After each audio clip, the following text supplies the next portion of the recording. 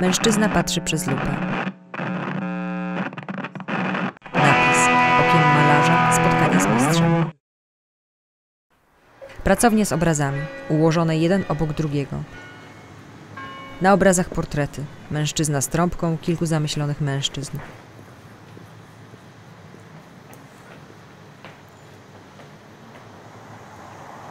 Trzech w garniturach pochyla się nad zwłokami. Pasażerowie autobusu, w tle mury zabudowań.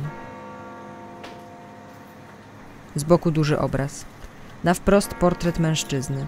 Poniżej stolik z pędzlami i farbami. Męska dłoń zaczyna malować niedokończony portret nagiego mężczyzny. Maluje gryf bałałajki.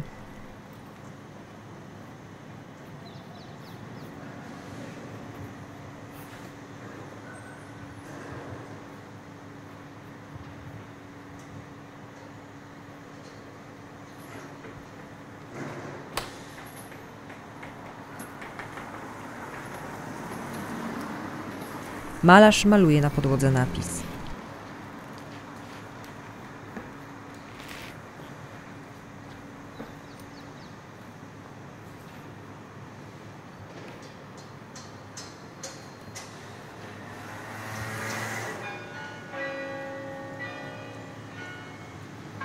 Rembrandt.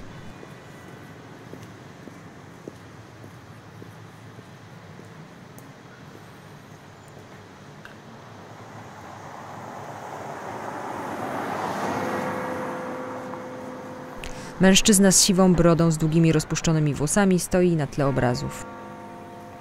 Kiedy byłem chłopcem i już zdążyłem przemalować wszystkie obrazy e, Matejki z takiej książki poświęconej temu autorowi, malowałem na pergaminowych papierach śniadaniowych e, plakatówką czarną i dziwiłem się, dlaczego mi to tak ładnie nie wychodzi jak e, Matejce. Trafiłem przypadkiem na autoportret Rembrandta. Taką niedużą, czarno-białą reprodukcję wielkości mniej więcej średniego znaczka pocztowego, która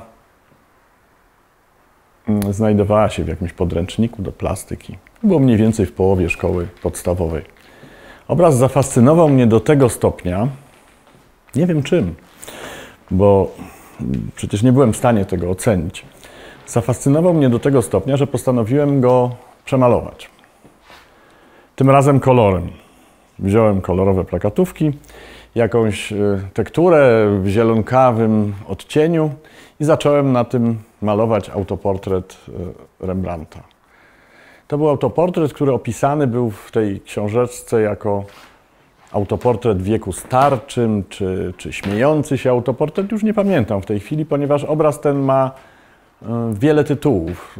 W rozmaitych, e, w rozmaitych wydawnictwach e, pokazują się zupełnie inne nazwy. Jest to stosunkowo mało opisany obraz ostatniego okresu twórczości Rembrandta. To dla mnie wtedy nie miało żadnego znaczenia.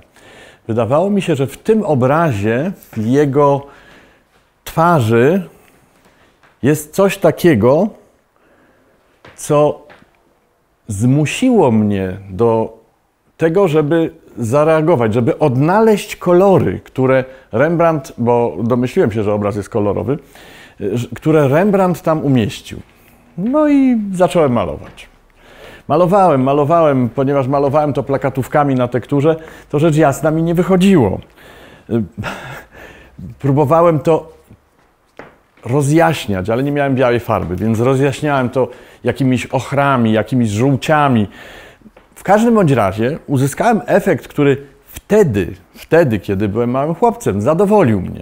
Sztaluga I na pierwszym planie. Byłem zachwycony tym swoim obrazkiem. Po latach, kiedy zapoznałem się z reprodukcjami, z literaturą na temat e, Rembrandta, dowiedziałem się, w jaki sposób mieszał farby, jak e, używał, jakiej bieli używał po to, żeby uzyskać Malarz takie maksymalnie mocne światło, którą musiał odpowiednio przed malowaniem utrzeć, tak jakby napowietrzyć. Że... Maluje na ścianie napis warsztacik. Rembrandt znany jest najbardziej jako portrecista, jako człowiek, który potrafił zgłębiać psychologię swoich modeli. Ale nie tylko na tym polega siła jego portretów. Siła jego portretów polega na używaniu białej, ołowiowej farby. To znaczy na sposobie jej używania, ponieważ ołowiową farbę używali wszyscy malarze, e, tylko taka była. I o ile na początku Rembrandt malował w taki sposób, y, który delikatny, prawie że gładki i bez Portret siwego mężczyzny, faktury, który trzyma szklankę z niedopitym piwem. w późniejszych swoich obrazach obficie i Chropowatość na obrazie. można powiedzieć nawet czasami bez opamiętania, nakłada, właściwie podkłada białą farbę w e, miejscach świateł. Robi to właśnie przy użyciu tej farby ołowiowej i robi to w taki sposób, że kiedy przyjrzymy się rentgenogramom obrazów, portretów Rembrandta, to widzimy tam pod spodem postać, która jest na tym obrazie, tylko w jakimś takim lekkim zniekształceniu, czy w lekko ekspresjonistycznym wydaniu. Zastanawiałem się, pewnie nie tylko ja, nad tym, w Stół z jaki sposób farbą. Rembrandt uzyskiwał te cudowne zestopniowanie światła, jak on to łapał, bo to jest dosyć trudne, sam maluję czasami ludzi. Musiał stosować coś w rodzaju czarnego lustra. Znaczy, było to Mała skórzana torebka w cokolwiek, ręce. pewnie miało to coś wspólnego ze szkłem.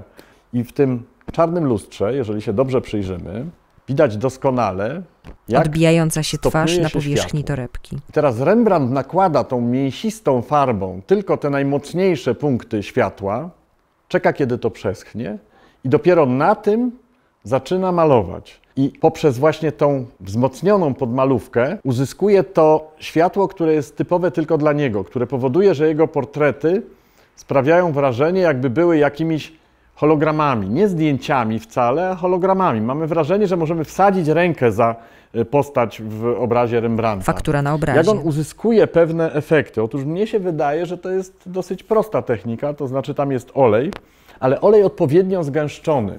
I tak mam wrażenie powstał rękaw w żydowskiej narzeczonej, słynnym obrazie, który wisi w amsterdamskim Rijksmuseum.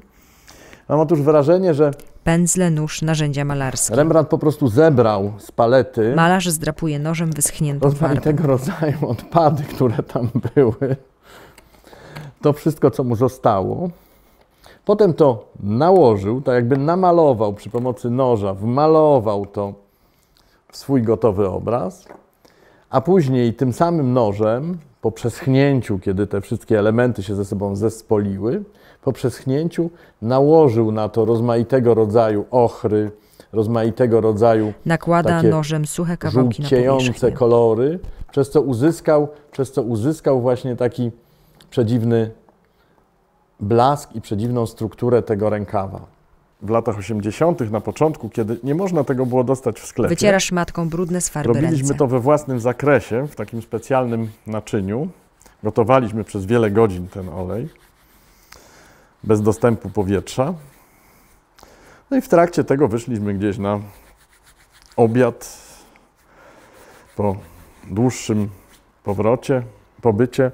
Wracamy i widzimy, że wszyscy ludzie pociągają nosem w taki przedziwny sposób, tak jakby, jakby coś takiego niepokojącego było w powietrzu. Rzeczywiście, bardzo śmierdziało. To jest charakterystyczny zapach, taki mniej więcej w rodzaju zapachu nafty czy śledzi, którego nie, niewielka ilość jest bardziej dojmująca niż cała masa. I właśnie on tam wydostawał się, ponieważ jak powiedziałem, był niewielki dostęp y, y, powietrza. On się wydostawał i rozchodził się na gigantycznym obszarze. I dopiero wtedy zrozumiałem, dlaczego istniał przepis, że w holenderskich miastach, i to był przepis chyba z XV wieku, że w holenderskich miastach nie wolno w obrębie murów malarzom gotować oleju.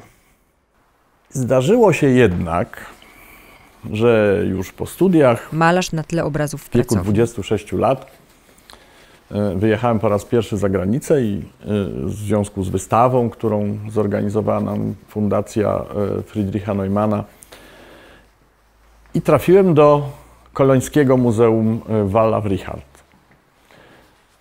W tym muzeum, ku mojemu zdziwieniu, odnalazłem właśnie ten obraz Rembrandta. Obraz, który tam był chyba zatytułowany Rembrandt jako Zeuxis, czy coś w tym rodzaju. zupełnie nie wiedząc, że ten obraz tam jest, miałem takie bardzo świeże, nieobciążone niczym doświadczenie, ponieważ w ogóle to był pierwszy obraz Rembrandta, jaki w życiu zobaczyłem. Kiedyś było mniej więcej tak trudno wyjechać jak w tej chwili, w czasach pandemii. I to był pierwszy obraz, i to był obraz nietypowy.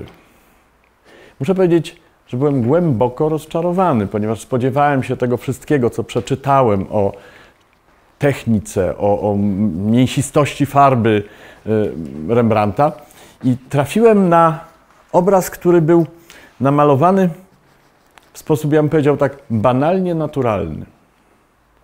To znaczy, nie było w tym obrazie żadnych fajerwerków technicznych, żadnego, żadnego fakturowania, na którym pojawiają się później laserunki czy inne superpozycje farby. Nie było tego, nie było tego całego mięsa malarskiego, o którym się tyle słyszy, kiedy, kiedy czyta się czy ogląda się reprodukcję Rembrandta. Nie było tego, co, co jest na przykład w jego y, słynnym obrazie, który później wszyscy malarze y, bądź kopiowali, bądź próbowali się do niego odnieść. Y, również ja tutaj Malarz w tym pokazuje swój obraz, na e, którym Feniksie jest rozszarpany próbowałem się odnieść do obrazu Rembrandta pod tytułem Ćwierć wołu. To znaczy nie było tych wszystkich, tych wszystkich struktur, tej całej farby, tego, tego ewentualnego, w tym obrazie akurat nie, ale tego migotania y, laserunkowego y, tonu nałożonego na fakturę. Ten obraz był namalowany, ten obraz, ten autoportret z bodaj ostatniego roku y, życia y, Rembrandta. Malarz opiera się o ramię innego obrazu. To nie jest zresztą jego ostatni autoportret, to jest ciekawe. Mm. Natomiast, tak jak powiedziałem, jest to jeden z ostatnich jego autoportretów i jeden z ostatnich jego obrazów.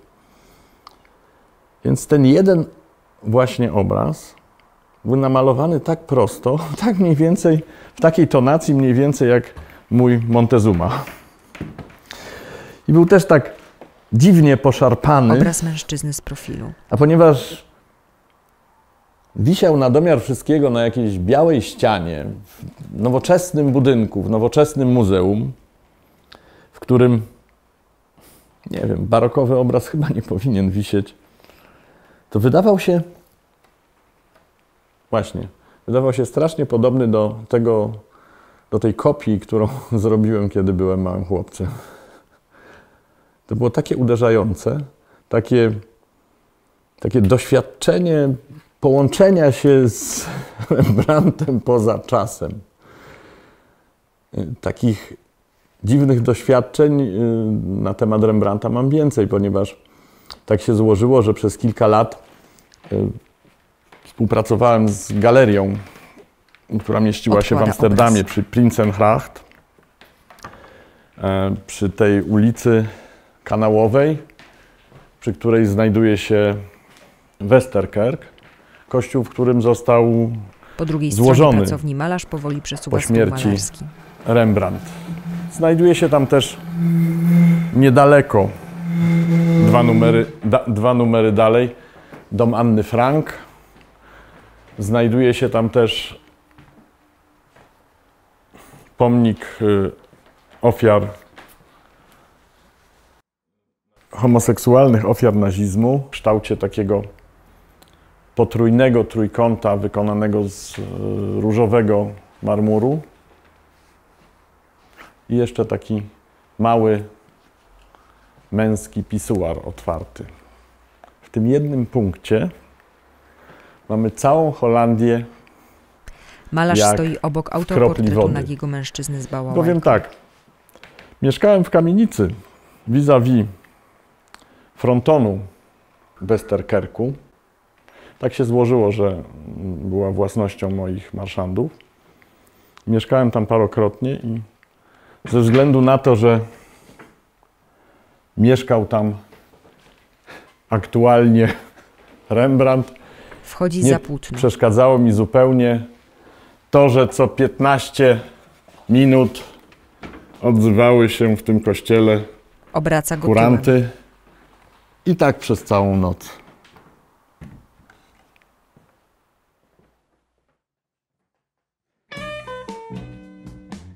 Obraz Rembrandta. Autoportret.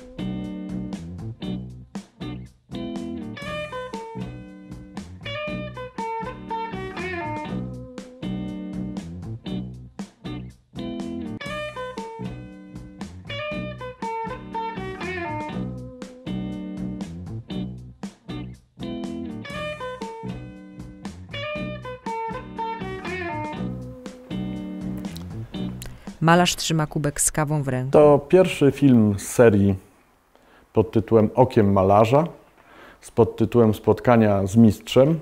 Tytuł jest mój, przyznaję się. Podtytuł jest już wynalazkiem kogoś innego. Sam nie pozwoliłbym sobie na tego rodzaju dodatek. Malarz popija kawę z kubka. Na kubku napis mistrz.